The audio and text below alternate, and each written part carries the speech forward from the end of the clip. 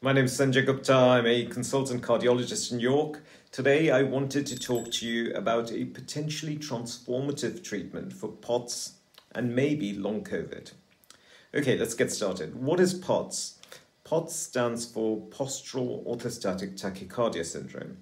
In this condition, patients complain that when they stand up for a prolonged period of time, they feel very uncomfortable with dizziness, palpitation, tremulousness, and therefore they either have to sit or lie down or they risk collapsing.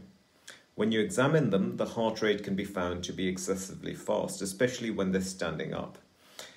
Now, as doctors, sometimes when we can't explain what is going on, we just take what the patient tells us, give it a fancy technical name, and make it a condition. This patient says that her heart rate goes up excessively when she is in an upright posture. Let's call it postural orthostatic tachycardia syndrome. That's not really a diagnosis. It's just a medical jargon filled term for what the patient has just told us. It tells us nothing more than that. But this is the term that we have ended up sticking with. In fact, I think the term POTS does patients a disservice. Because of the name of the condition, many clinicians have incorrectly assumed that it is only a condition that is manifest when the patient is upright or standing up. This is incorrect. I have over a thousand patients with POTS, and I've spent a lot of time listening to their stories. All of them say, I feel rubbish all the time. I just feel rubbish when I'm upright. So, what do they mean when they say they feel rubbish all the time? Well, they're always tired, they have bad brain fog, they have issues with lack of refreshing sleep, they have horrendous gut issues, they have chest pain, breathlessness, headaches, they even have bladder symptoms. And unfortunately, the term POTS does not capture all these other symptoms, and therefore I prefer the term dysautonomia, which means a disequilibrium between the flight and fight systems and the rest and digest systems. In essence, these patients spend a lot more time in flight and fight mode and very little time in rest and digest mode, and therefore they're always simultaneously tired and wired. And this is a far more appropriate and accurate name for this condition. Now, how do patients develop POTS? Increasingly, we're seeing that they often inherited genetic vulnerabilities, such as Ehlers-Danlos syndrome joint hypermobility variant and they have this vulnerability, they get on in their lives, and then at some point in their lives, they get hit by some kind of infection. This vulnerability is then unmasked by this infection, and the patient starts noticing these symptoms. In essence, people are born with a genie in their lamps, and then an infection comes along, and the genie is unleashed. And then, unfortunately, they struggle to get that genie back in that lamp. The most common infection that I've come across as a trigger for dysautonomias is glandular fever. However, there are other infections that can also trigger dysautonomias, including coronaviruses. And it is therefore not at all surprising that so many people have now developed this condition called long COVID, which has almost identical symptoms to a dysautonomia like POTS.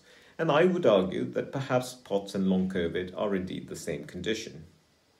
Why do I say this? Well, let's look at the facts. Only 10% of patients with COVID develop long COVID. Why? If it were just about the virus, then surely everyone who got COVID would be expected to get long COVID.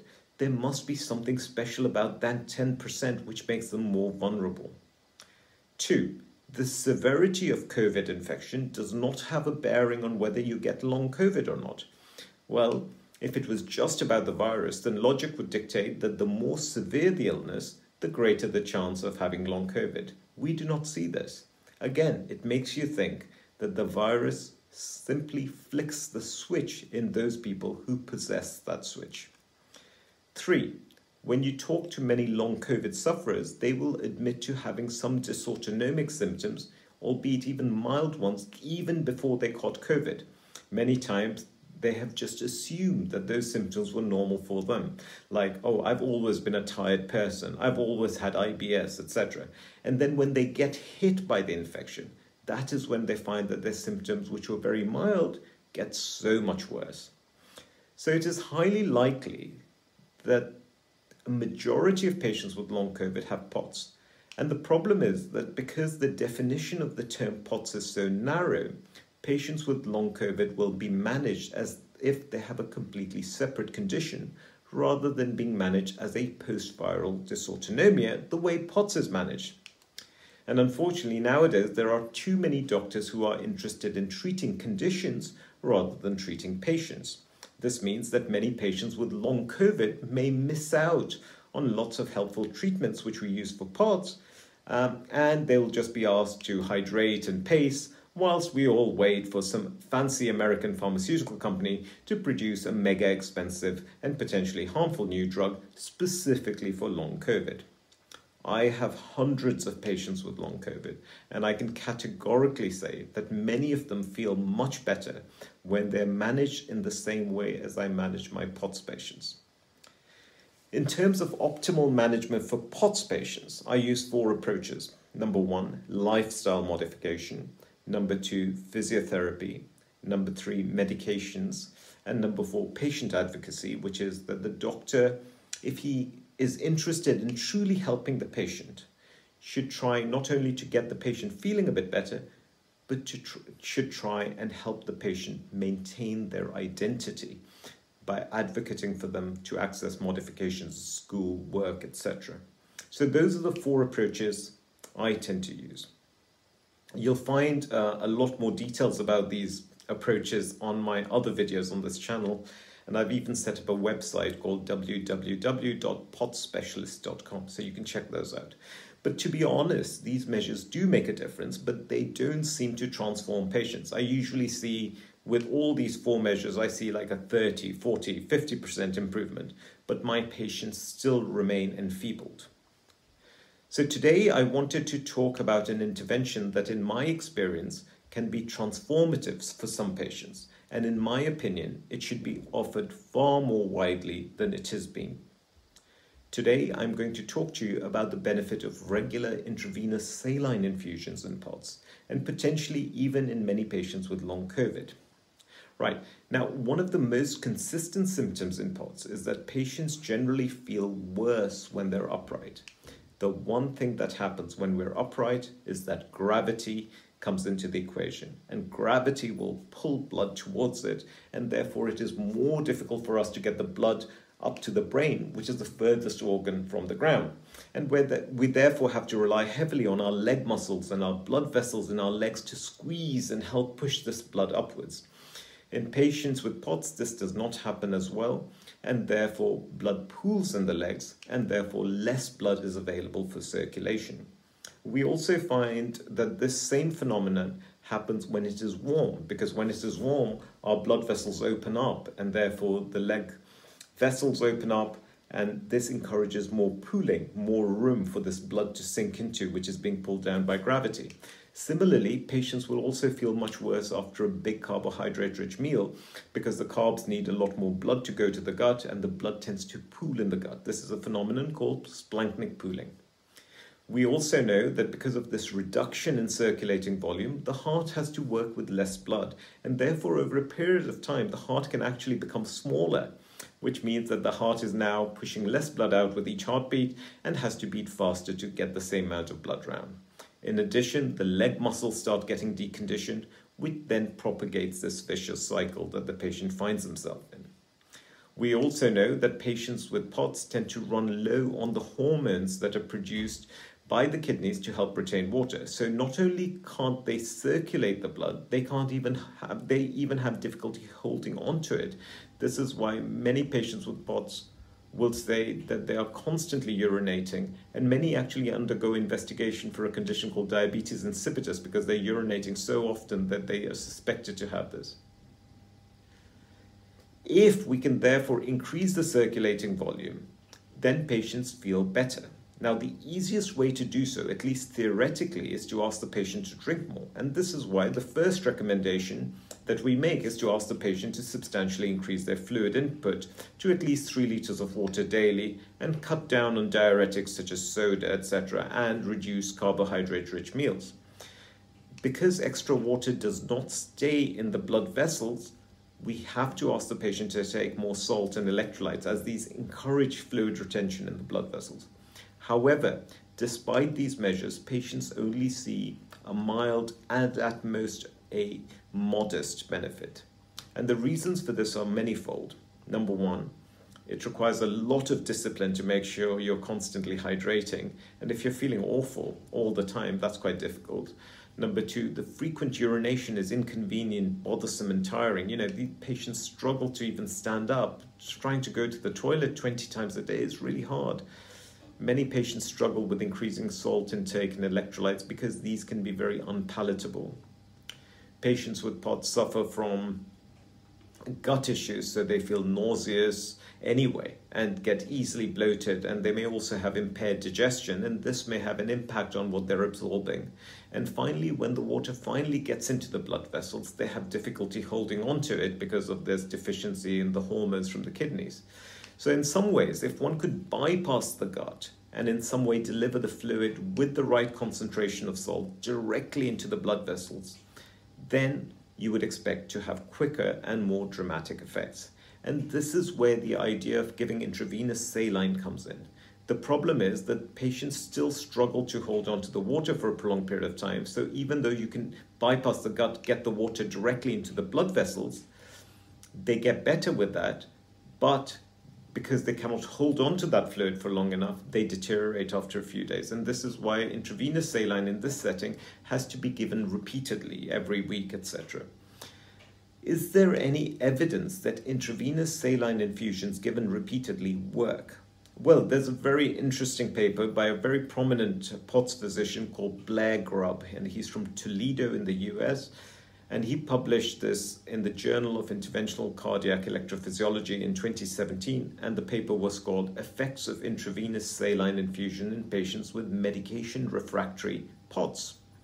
And these guys, what they did was they took 57 patients who were already medicated and they were already on at least three different types of medications for their POTS, but they were still struggling and they recorded measures of quality of life before initiating intravenous saline infusions regularly, one liter of intravenous saline every week. This was given via peripheral cannula, and in a small number of patients, they were given through ports, bigger, you know, bigger things, uh, uh, catheters that are actually stuck in a bigger vessel. But the majority of them were given uh, the infusion through a little cannula in the arm here, and they were followed up these patients were followed up over the next 3 to 12 months to see if they reported an improvement in quality of life. And the results are remarkable because it showed that only four patients out of these 57 did not feel that they had benefited. All the rest reported a benefit, and the benefit was seen in all domains across quality of life assessments. Most patients reported an immediate improvement in symptoms that lasted up to three days after the infusion. Many patients subsequently found that because they felt so much better, they were able to use that improvement to do more physiotherapy, get more condition, and many were then able to discontinue the IV fluids altogether. More importantly, there were no major adverse events from the intravenous saline. So this is clearly very encouraging even though the study was non, a non-blinded observational study rather than the randomized placebo-controlled trial which most doctors pay more attention to. Despite these encouraging data, as yet I'm unaware of anyone who is doing a randomized control trial, and this is probably because there's no real money to be made from intravenous saline, which is cheap as chips. Anyway, on the basis of this study, one would think that this is a simple, safe intervention, it's not expensive, and it would be something worth offering those patients who continues to struggle despite lifestyle, physiotherapy and medication. And I have many such patients who you do everything and they're still really struggling. And so I was keen to explore this option for my patients. Unfortunately, I found it far more difficult to convince the NHS gurus that this was worth trying for several reasons, and I'll list them out. Many, many doctors don't know anything about POTS. Many who do know about it don't believe in it. Those who do believe in it fail to understand why just telling the patient to drink more is not an adequate enough intervention. As POTS is not considered a dangerous condition, it does not seem to be important enough to address, even though, to my mind, quality of life is really important. Many doctors feel that the benefit is simply due to a placebo effect even though you have to ask, whether that really even matters. Because if someone says, I don't enjoy my quality of life, and after being given a cheap, safe intervention, the same person says, I feel so much better, could you still call it placebo? Just because you can't explain it does not mean that it's not worth doing because if it is about quality of life, then the patient's perception of their quality of life is what is important. And if you've made them feel better, then you've delivered an effective intervention. Finally, there are no easy mechanisms within a cash strapped, space starved, staff depleted NHS to provide such a service. And despite all these challenges, I was really keen to see if I could access fluids for some of my patients. And my breakthrough came when one of my patients wrote to their MP, who turned out to be Mr. Rishi Sunak, who was then Chancellor of the Exchequer. And he was also her local MP. And Mr. Sunak wrote to me and said, Look, you know, on the basis of humanitarian grounds, you should be offering this patient intravenous fluids because she's got children, uh, she can't look after them, she's incredibly debilitated, and she's missing out on life. And I agreed with that, but, but I was very grateful to have Mr. Sunak's support. So I took his letter to my hospital managers, and they all agreed. And we started offering this lady intravenous saline. And because we were able to offer her saline, we could offer a few more patients intravenous saline. So we um, uh, started giving some of our worst affected patients, intravenous saline infusions were via peripheral cannulae. We don't put ports in because uh, ports carry a much higher risk of blood clots and infections, uh, and therefore, when you're trying out a new intervention, you don't want to take anything, do something that could expose the patient to any kind of risk. So, peripheral cannula are very safe, and I'm delighted to say that we are now we have now been giving intravenous fluids to about 30 or so of my worst affected patients and the vast majority have found this simple intervention to be transformative. They come once a week they sit in our day case unit they receive intravenous saline 2 liters of intravenous saline over a 4 hour period via peripheral cannula they then go home and engage with physiotherapy because they feel better, they get more condition, and then they come back in a week and get the fluid again. We've not been able to offer it to more people simply because there's a shortage of resources, but I'm hoping that soon we'll be able to add our experience and develop an evidence base which will allow us to fund more resources. Now, I wanted to share some feedback from my patients in their own words with you. Okay. So let's. This is from uh, a gentleman called Ben. He said, "Dear Dr. Gupta, I thought I would write to you now, as we are a couple of months into my IV treatment. I can't believe how much of a difference this treatment is making. I admit I was skeptical at first." But having run out of options in my treatment, I had no alternative but to give this a try. To start with, I didn't see much difference. But then, after a couple of weeks, my wife commented that I looked different immediately after receiving treatment, and that I looked well and my complexion was more refreshed. My skin was less pale. I had more of a glow about me.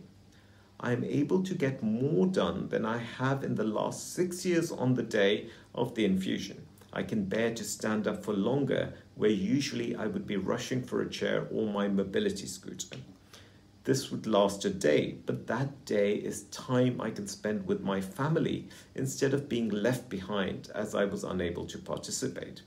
I noticed a longer effect if I wear my compression stockings that I purchased from Amazon. Ever since that, um, I did this. Ever since I did this, I'm able to extend these effects from my treatment into the following day. Although you only get one or two days of lesser symptoms from this treatment, it has made such a difference to me I very much hope that funding will continue so that I am able to have more of a life instead of being confined to my home. This is uh, another feedback, another bit of feedback that I've received. Dear Dr. Gupta, H has now finished her once a week over four week course of intravenous infusions. I have to say, I did not expect the infusions to make such a difference to H, but they have. This therapy has given us glimpses of our daughter back that we haven't seen for over eight years. She has struggled not only with Ehlers Danlos syndrome, but with chronic fatigue, brain fog, auditory delay, headaches, difficulty processing speech from others, and giving a related answer. Therapy has given her so many benefits. She has not had a headache since starting treatment. For three days a week, she is animated, chatty, and can process conversations correctly. Her energy levels have increased vastly for three days a week. She can do hobbies, sit downstairs. She is normally bedbound and has now been doing so for day has now been on days out. This is huge for H and us as a family.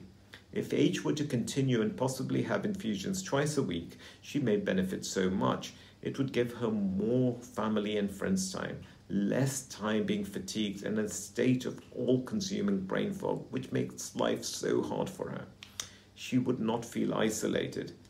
In H's words, she feels normal for those few days. To a disabled person, that word is huge. To a parent, it is a lifeline we thought she would never have. Thank you for this opportunity you have given to H. So, as you can see, these are incredibly heartwarming stories, and it is a shame that this is a service that is not offered more widely to carefully selected patients. Although one of the reasons is that there are no mechanisms, existing mechanisms in place to offer this service within existing NHS services, a bigger reason is the attitude of doctors. Doctors these days have the mentality whenever they're faced with a complex problem or a complex patient, they will say, What will happen to me if I try and help this patient? What inconvenience will I put myself through for this patient? What will happen to me if I try and help this patient? And actually, what they should be doing is they should be thinking, What will happen to this patient if I don't help them? My own feeling is that a doctor who is not prepared to put him or herself out of his or her comfort zone for the sake of the patient, then that doctor is not deserving of their title. I hope this video will empower patients who suffer from dysautonomia, POTS and long COVID to access the care that they truly deserve. As I say, we now have a website that I've started for patients with POTS. You can access lots of free resources. I've compiled these resources over five, six years of looking after patients with POTS. Uh, and I thought, well, should that not be available to everyone at no cost? And therefore, I set up a website, and the website is www.potspecialist.com. If you get a minute, please check it out, and please let me know how you think we can make it better and more useful. So, thank you so much. Uh, I'm so glad. Um, that I've been able to do a video this week. Uh, I love hearing from you. I read all your comments, and all your comments contribute in making me feel happy and worthy. And I am so incredibly grateful. Thank you so much. All the best.